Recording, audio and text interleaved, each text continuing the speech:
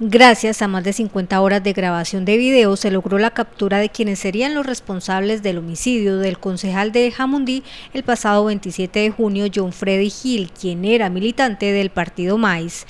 Los tres sujetos corresponden a alias Palomo, El Indio y Brian.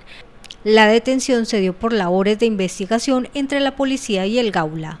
La hipótesis que es, es que fue por un, robo que se le iba a realizar a esta persona. Sin embargo, se está investigando si pertenece o si es contratado por las disidencias de las FARC. Eso es algo que se está investigando, pues porque se le se encontró que algunos de ellos eran eh, reclutadores de menores. Como resultado de un trabajo articulado de la policía con todos los organismos y con, sobre todo con inteligencia, con policía judicial, con Gaula, con todos los sectores, para que de esa manera rápidamente podamos dar con las eh, personas que cometen los delitos. Y en este caso, pues se va esclareciendo la muerte de John Freddy Gil Franco, concejal del municipio de Jamundí.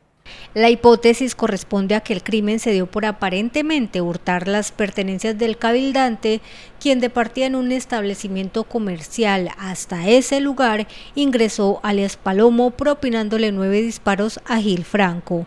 Las autoridades investigan si este hombre es miembro de las disidencias de las FARC. Fueron eh, realizados tres allanamientos, uno en el barrio Siloé de la ciudad de Cali, uno en el corregimiento de Potrerito y uno en el barrio Terranova del municipio de, Jamundí. Eh, estas personas lo que hasta el momento hemos podido eh, evidenciar es que se dedican al hurto en sus diferentes modalidades en el municipio de Jamundí. Por los delitos de homicidio agravado, hurto calificado y fabricación, tráfico y porte de armas de fuego o municiones agravado, deberán responder los tres presuntos implicados quienes se negaron a aceptar dichos cargos.